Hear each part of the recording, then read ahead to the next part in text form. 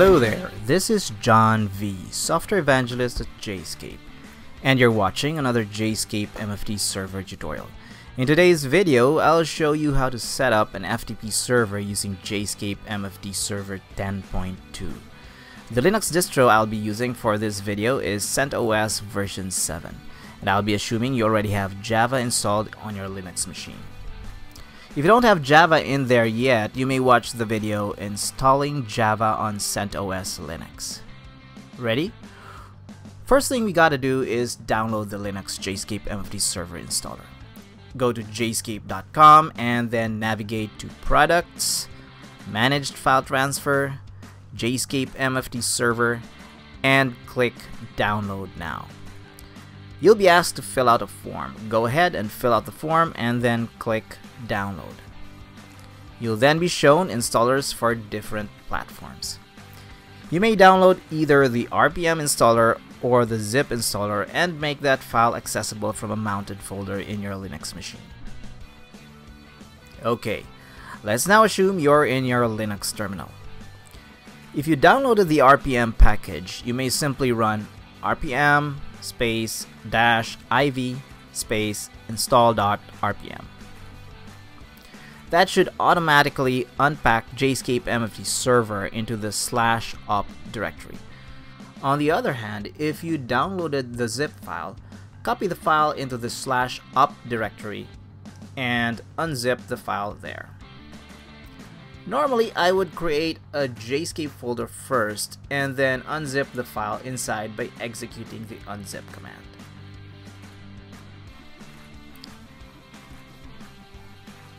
If all goes well, a folder named Jscape MFT server should be created inside slash opt slash jscape or whichever directory you unzip the file from. Navigate into that Jscape MFT server folder and then enter these commands in the following order.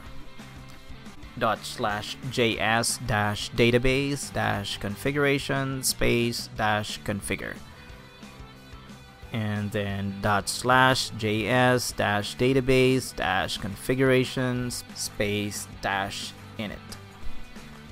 Those commands will configure and initialize the built-in H2 database that will hold the server configuration. Next, let's add a server administrator user account. Type in dot slash js dash add admin space dash db space dash username space an admin username and then space dash password space and then that username's corresponding password in my case secret and then space dash sa again admin should be your admin username so you can change that. And secret should be that username's corresponding password so you can change that as well.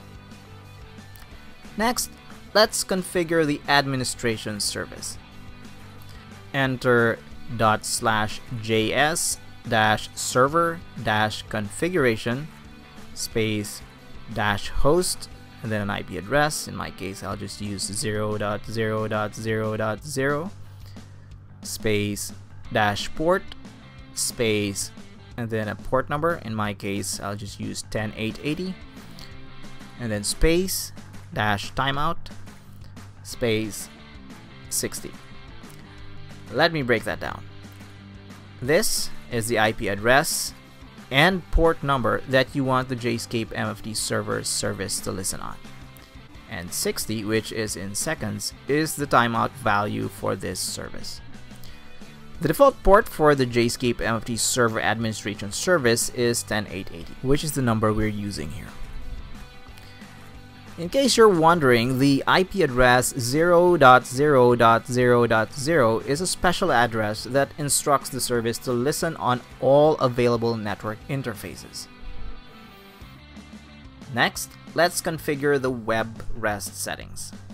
Let's enter dot slash js dash web dash configuration space dash host space and then an IP address Again, 0.0.0.0 space dash port space port number. In our case, I'll enter 11880 and then space dash timeout and then 10. You already know what 0.0.0.0 stands for, so that's that. 11880 on the other hand is the default port number for the JScape MFT server web rest service. And 10 is the timeout value in minutes. Now, remember this is in minutes while the previous one was in seconds. We now configure the credentials used when invoking command line utilities.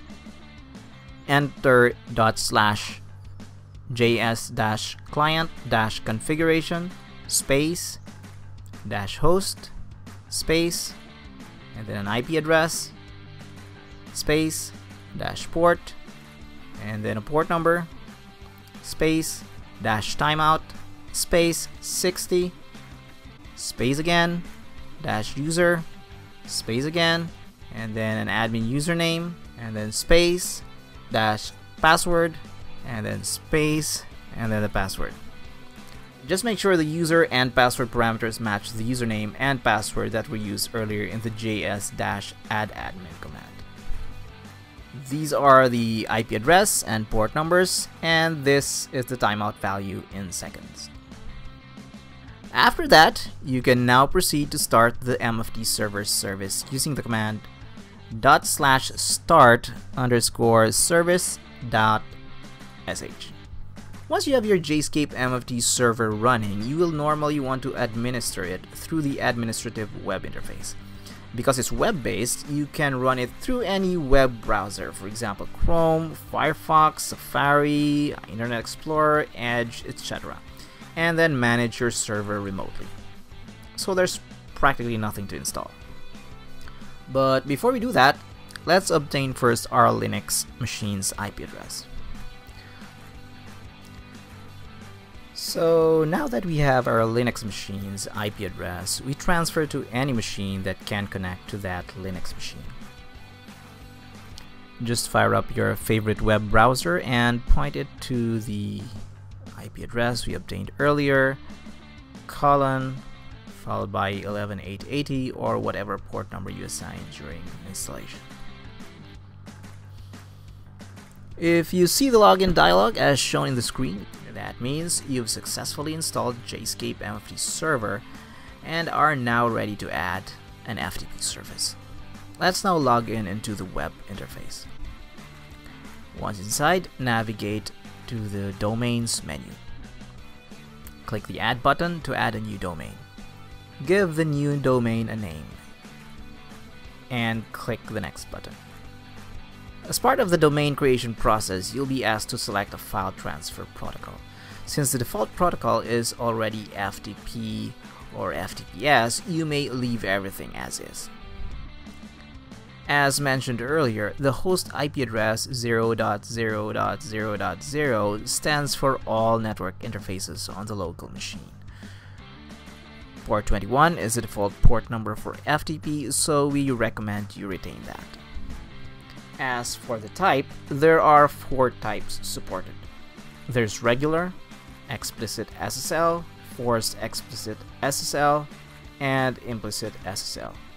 The default, which is explicit SSL, already supports both the unencrypted regular FTP and its secure encrypted version FTPS. So we suggest you leave that as is as well. For more information about explicit, forced explicit, and implicit modes of FTP, read the article Choosing Between SSL Implicit, Explicit, and Forced Explicit Modes. We've provided a link to that in the description. Note, however, that the example underscore RSA private key selected there, which will be used in FTPS connections, is not for production use. You will have to create your own key in Keys, Server Keys. To learn how to do that, as well as how to set up an FTPS service, watch the video Setting Up an FTPS Server. Click Next to proceed. The succeeding dialog contains settings for the domain log service. You may change the location or directory path of your domain log files, as well as specify how often the log files will be rotated. Is to say daily, weekly, monthly, or depending on the file size. We suggest you leave those as is for now. Click OK to finalize the domain creation process. You should then see your newly created domain on the main screen. You can check your FTP slash S service by editing the domain and then navigating to the services module. There's your FTP slash S service. Let's delete this for now and go back to the main screen. In case you already created a domain but didn't choose FTP slash S as the initial protocol, or you may have accidentally deleted the FTP slash S service, or you simply want to add an additional FTP service with another port number, you may do so by editing the domain. And then add an FTP slash S service by going to the domain's services node and then clicking the add button. In the succeeding screen, select FTP slash S from the protocol drop-down list and click OK. You'll then be presented with the same dialog box we discussed earlier. Click OK when you're done. You should then see your newly added FTP service under your services node. Once you have your FTP slash S service ready, you can then create user accounts so that people can start using your new FTP service. To create a user account, go to the users node and then click the add button. You'll then be asked to select a user template. Now, assuming what you have there is a fresh install of Jscape MFT server, you'll only find one template in the drop-down list.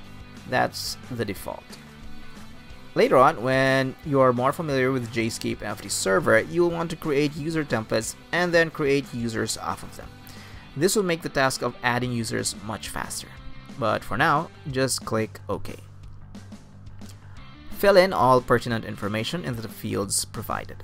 For now, just put in a name, a login name, and that login name's corresponding password. Don't forget to confirm the password. And click OK.